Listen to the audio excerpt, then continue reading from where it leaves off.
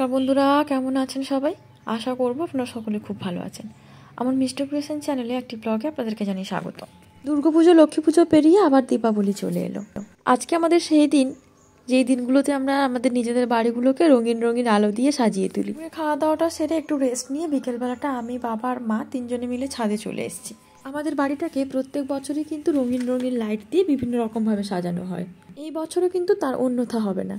চলো আগে তোমাদেরকে দেখিয়ে দিই বাবা কি কি লাইটস এনেছে বাজার থেকে।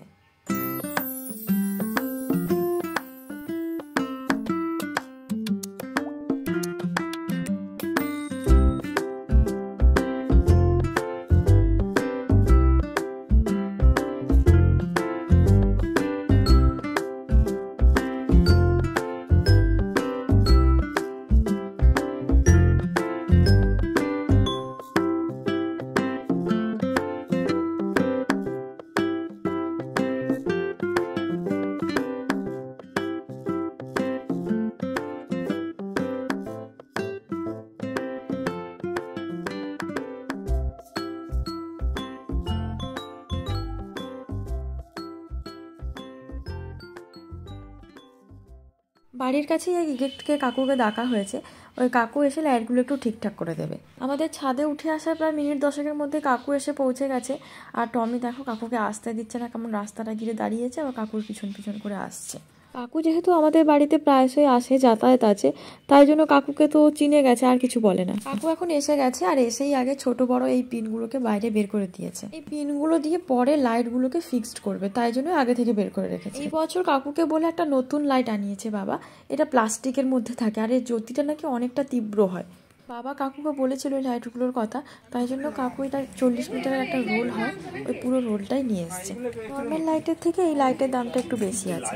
তবে এই লাইটটা দিয়ে পুরো বাড়িটাকে কিন্তু সাজানো হবে না, হয়তো সাজানো হলে আরও বেশি ভালো লাগতো। দেখা যাক পরে কেমন কি হয়। আপাতত এই লাইটটা দিয়ে শুধুমাত্র বর্ডারের কাজগুলো করে নেওয়া হচ্ছে, তারপর ওখান থেকে ছোট ছোট বাল্বগুলোকে টাঙিয়ে দেওয়া হবে, ওপর থেকে লম্বা করে নিচ পর্যন্ত। কাকুকে এখন কাজটা করতে দিয়ে আবার ফিরে আসছি কিছুক্ষণ পরে।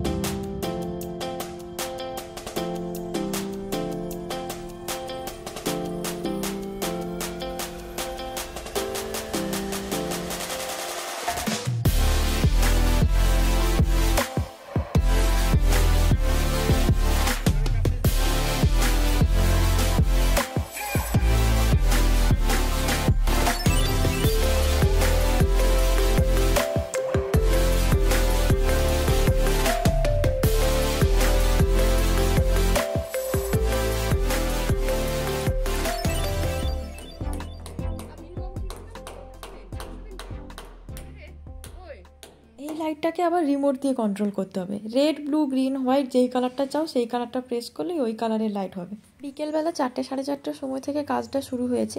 আর এখন সাড়ে ছটা বাজে। কাজটা প্রায় শেষেরই পথে বলতে পারো। আর একটু হলেই হয়ে যাবে। আমাদের বাড়ির ফাইনাল লুকটা শেয়ার করব আমার পরের ব্লগে ততক্ষণ তোমরা সবাই ভালো থাকো আর সুস্থ থাকো।